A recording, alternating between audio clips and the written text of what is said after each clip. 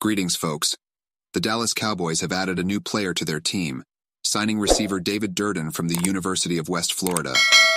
Durden was considered the most underrated player in the 2023 NFL Draft due to his impressive speed skills.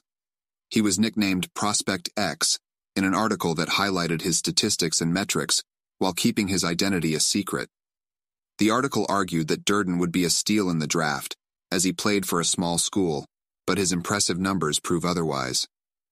In 2021, he totaled 787 receiving yards and 10 touchdowns in just nine games, resulting in an average of 23 yards per reception. In 2022, he had even more success, recording 1,128 receiving yards and a school record 13 touchdowns.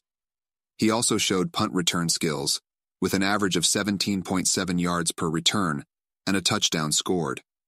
With his signing by the Cowboys, Durden will now have the opportunity to showcase his skills in the NFL.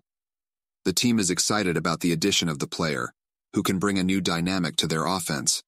With his notable speed, he can be a dangerous weapon for the team's quarterback, Dak Prescott. The Cowboys made eight selections in the 2023 NFL Draft, but also added 13 players as undrafted free agents and Durden is one of the most promising of that group.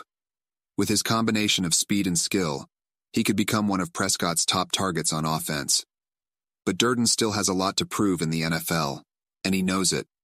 He is eager to showcase his skills and prove that he deserves to be in the league. His success in college is a good start, but now it's time to adapt to the professional level and prove that he can compete with the best players in the world. Cowboys fans are excited about Durden's arrival and hope to see him in action during the season. If he can maintain his pace, he could become a rising star in the NFL.